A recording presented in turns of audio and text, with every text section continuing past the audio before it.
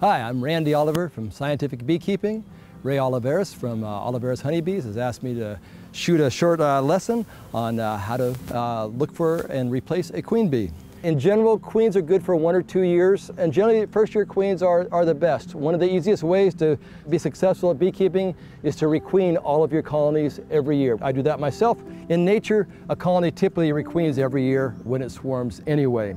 Now the queen will generally be in the center area of the box where the brood nest is, but that's just just a generality. The bees don't read the rules. You may find the queen clear out to the outside on an outside comb or even just uh, out on the box. But in general, you'll find the queen where there's a brood area.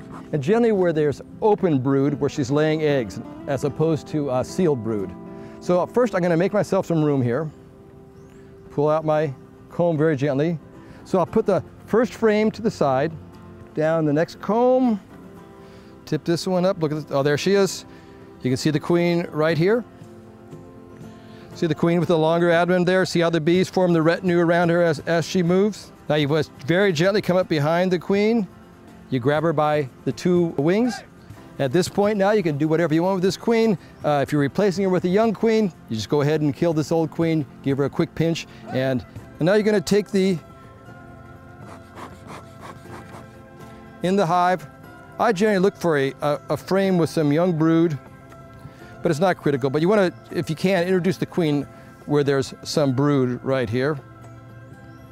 So I'm going to take the queen cage right here. I'm going to place the queen cage. Now there's no attendant, so I can put the candy in any, any way. You can put it vertical, you can put it horizontal, it's not critical. And you can just force this queen cage right in like this, exposing the screen so the bees have access to the screen. Clear out a spot so you're not crushing bees here. Squeeze the cage right on in there. And then close the hive up. Now there are a couple other kinds of cages also. The other kind of cage is the JZ's BZ's cage.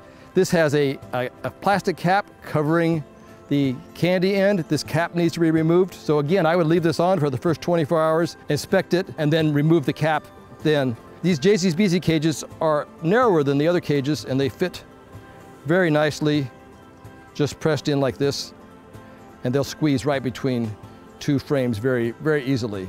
So the principle is the same in all, all of them.